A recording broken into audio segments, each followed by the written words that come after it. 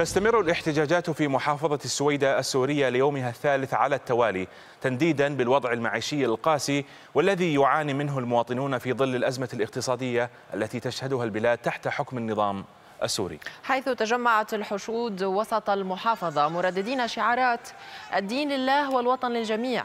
والتاريخ لا ينسى الجوع وبدنا نعيش.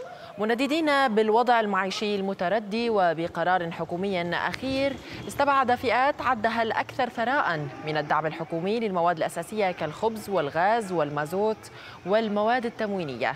علما أن دخل هذه الفئة التي تعتبرها الحكومة السورية الأكثر ثراء لا يتجاوز 30 دولار شهريا.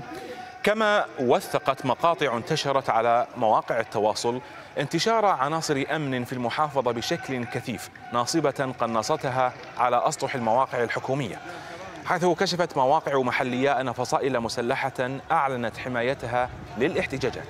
بعد أن قطع منظمو هذه المظاهرات الطريق الأساسية من محافظة السويدة إلى العاصمة دمشق وأيضا الطرق الداخلية في المحافظة باستخدام الإطارات المشتعلة.